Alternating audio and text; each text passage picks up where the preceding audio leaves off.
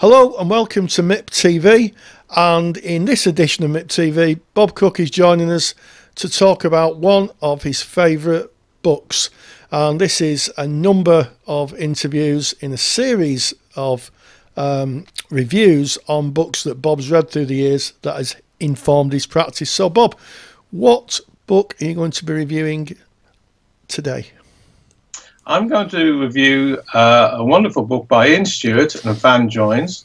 Ian Stewart's a well-known TA person who's written many, many books, but he's probably he's best known for this book, and it's called Transactional Analysis Today, often called TA Today, and I think it's sort of like pretty uh, pertinent that I'm reviewing this book today because, of course, one of the founders of TA died a couple of days ago, and that was Claude Steiner and uh, you know Ian and Claude knew each other, and Ian's book really is a wonderful, accessible book with regards to all the TA concepts um, that Berne and many of the other TA authors um, or people have followed Berne um, and their concepts. He's put them all together, and him and Vann Joines have written this very accessible book for people interested in TA in the first time or indeed students, because it's a textbook really. But I think it's the most accessible textbook on TA on the market.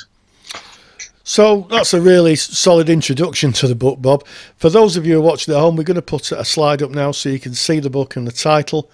Mm. And we're going to pop in the comments bar below, in the link bar below this video, uh, a link to it. So if you wanted to examine it or, or buy it, um, you, you could have a look at it. And just to be just to be clear, this isn't a sponsored video, so we're not we're not sponsored by the book company or by anyone else.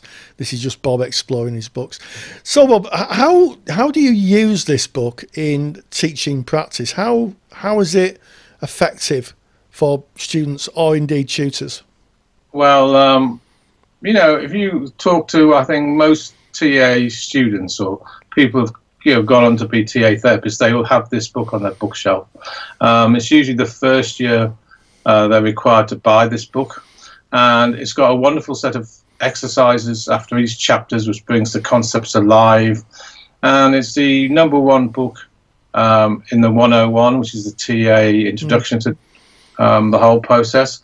And um, I use it particularly to explain very sophisticated concepts easily and use the exercises they actually um, have at the end of each chapter, which is very good and um, allows a person to really live concepts um, as well. So it's got a lot of experience exercises. And it's a sort of book which you will probably keep with you the whole of your training and dip in, especially for the essays.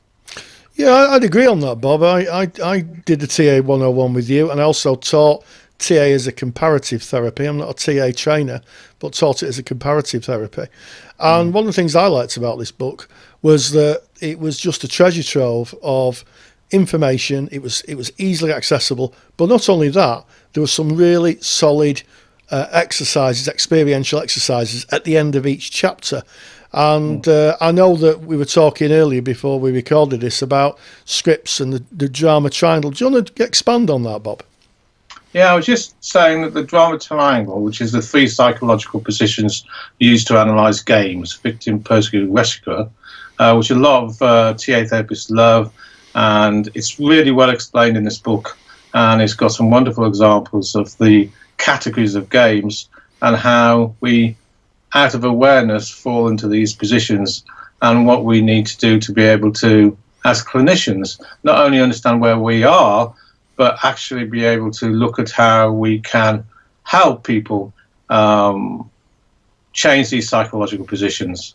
And there's a wonderful chapter that I particularly like as well on rackets.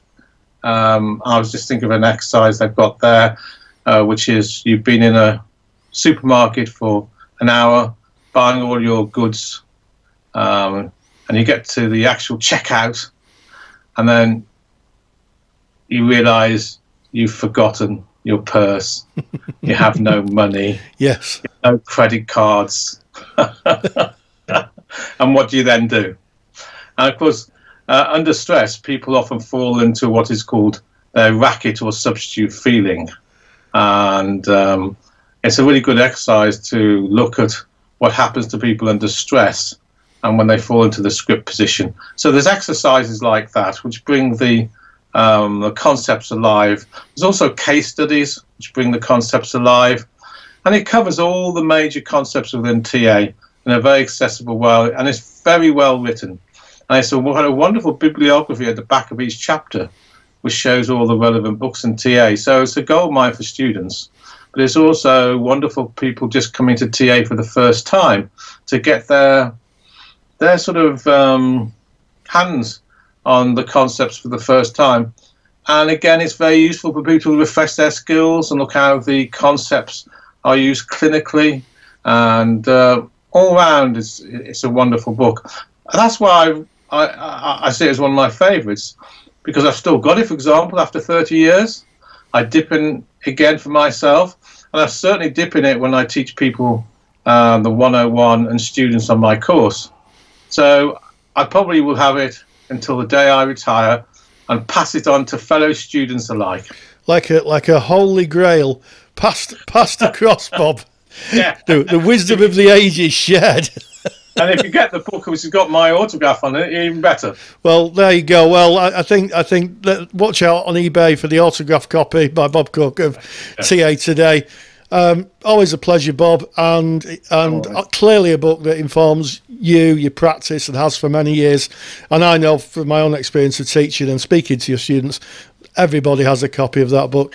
So uh, again, just to remind everybody, we'll put a link down below so people can just click on it and, and have a look. And uh, as always, Bob, a real pleasure, and thank you very much.